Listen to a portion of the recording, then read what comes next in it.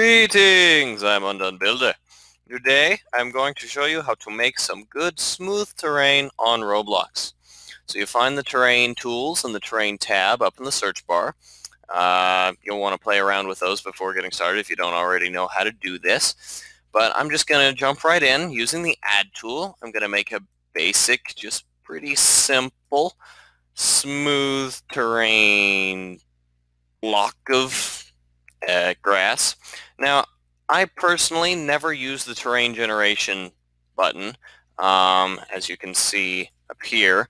Um, it can work in some instances, but simply because it's just so random, I, I never find that it makes what I, what I want, and it does so many extra things, I just don't use it. I, I don't recommend it.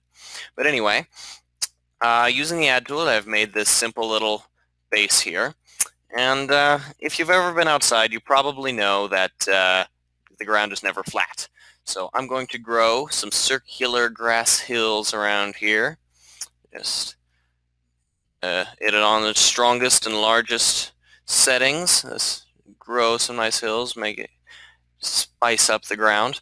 If you've also noticed, if you've ever left your house, which hopefully you have, the ground is never a single color or texture either. Um, this is one of the big flaws I notice in a lot of Roblox terrain games is they just have one one texture as their entire game, and this this is not realistic.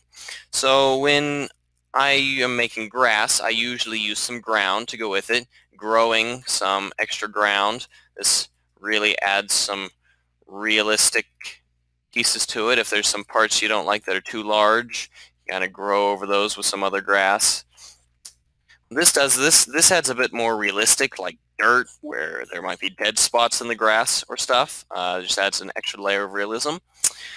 Another thing you might notice if you've ever left your house is there's rocks, usually, unless you're in a desert, and even then there's probably a few.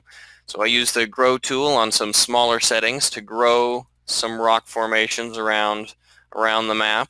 Um, this just adds yet another little bit of realism that just makes it feel just a little bit more like life. Um, I'm going to add a little bit of a river here to just show you how to do that. Now some people use the paint tool to do water and as I've shown in a previous video on how to do water uh, that, that does not look good. So instead I use the subtract tool make it the size of the river I want and I subtract the river bed that I want it to be. And then using the regions tool, I, as shown in my water tutorial,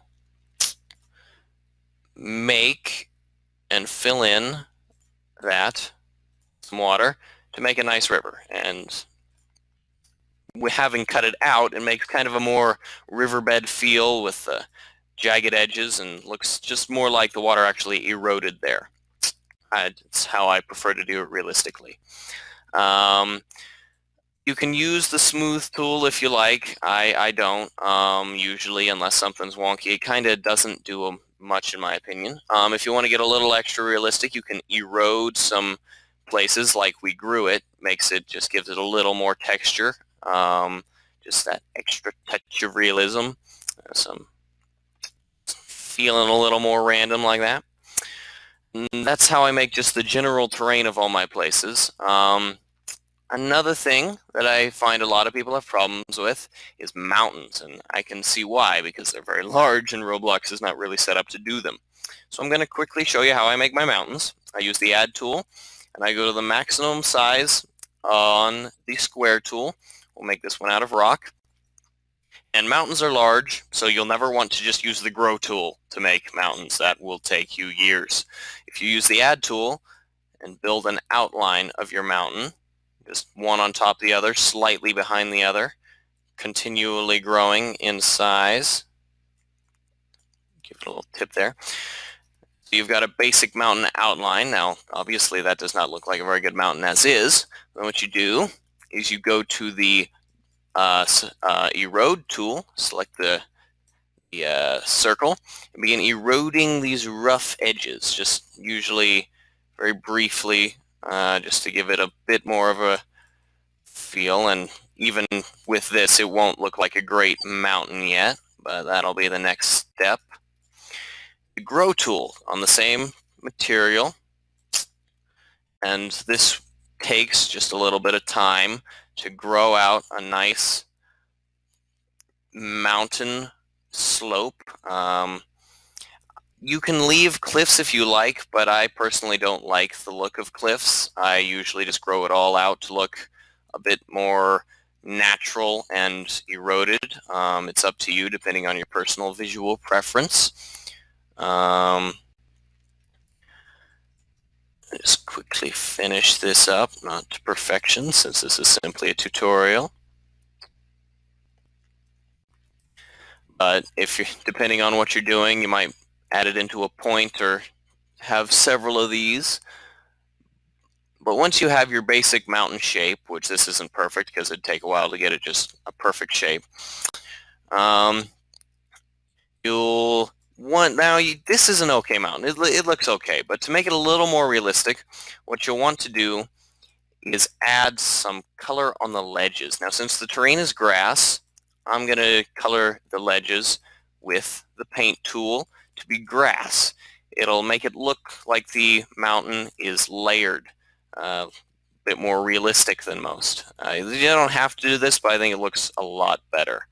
Um, so I just paint it roughly, and I select the rock and kind of touch it up a bit, giving this mountain a more realistic feel that it has ledges and growth on those ledges and such. Uh, I think it adds a really nice touch if you're trying to get a little more realistic. Um,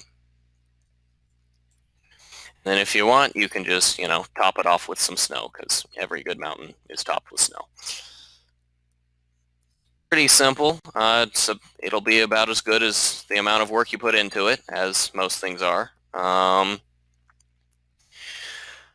that's about it for the basics of making terrain. Um, if you want to see my tutorial on how to make good lava, you can check that out.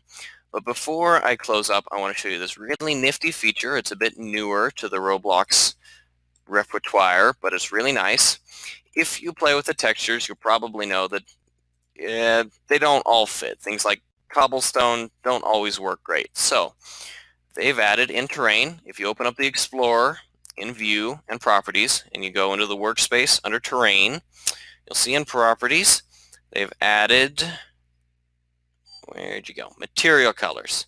And in here, you can change the color of all these lovely textures. And this is extremely useful doing pretty much anything. You can match the colors to your place. You can make it look alien. You can do whatever you want by, but by simply clicking on any of these, you can make them any funky color you like.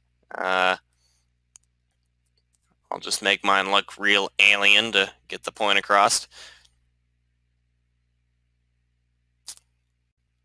But yeah, it's pretty nice. And once you do that, I mean, you can do pretty much anything with all these great color changers. And that's about it. I'm Undone Builder. Please like and subscribe.